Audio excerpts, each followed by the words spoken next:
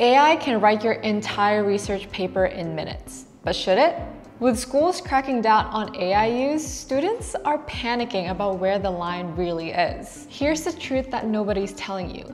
It's not about avoiding AI. It's about learning how to use it right. Hello everyone, my name is Shane, and today we are cutting through all of the confusion about using AI in academic research what's actually allowed, what crosses the line, and how to use AI tools without putting your academic future at risk. First, let's kill the myth that all AI usage is cheating. Most schools allow AI for grammar checking and sentence improvement, properly formatting citations, brainstorming and outlining ideas, and summarizing research that you've already read.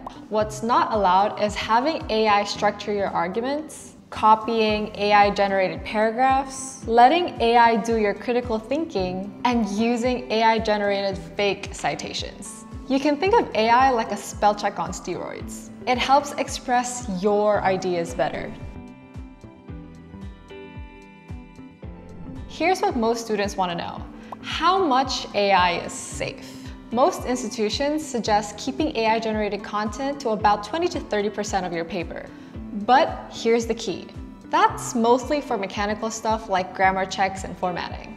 Detection tools like Turnitin flag anything over 40% AI content. So here's how to use AI without getting caught or crossing any ethical boundaries. Step one, use AI for brainstorming and rough outlines only. Step two, write your draft completely by yourself. Your ideas, your voice. Step three, use AI to improve clarity and fix grammar mistakes. And step four, always revise AI suggestions to match your personal writing style. The goal? AI should amplify your thinking, not replace it.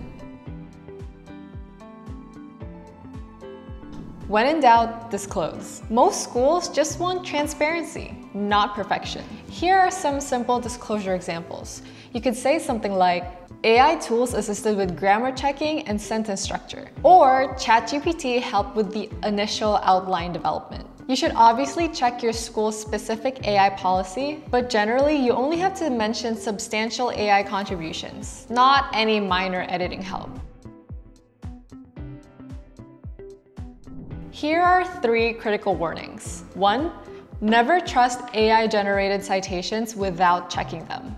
Two, don't copy-paste AI text without significant revisions. Detection tools can catch generic AI writing patterns. Three, keep records of how you use AI. So if you get questioned, you can show that your process was completely ethical. AI isn't going anywhere, so learn how to use it responsibly. The students who master ethical AI usage will have a huge advantage in the future. What's your biggest AI concern? Drop them in the comments below. Thank you for watching. Hi, Shane from Jenni here. Thank you for watching the video. Jenni is an all-in-one writing workspace that's designed specifically for students, researchers, and academics. Jenni helps you write with smart suggestions that include citations, manage all of your sources in one place, paraphrase your writing into any tone, and it also offers a smart Jenni chat, which is basically ChatGPT but tailored specifically for academics. You can try it out for free today, link is in the description box. See you in the next video.